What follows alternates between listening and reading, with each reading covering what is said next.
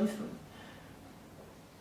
Und junge Mädchen mit knappen Badeanzügen. Und knackigerem Körper als man selber. Also als ich ein junges Mädchen war,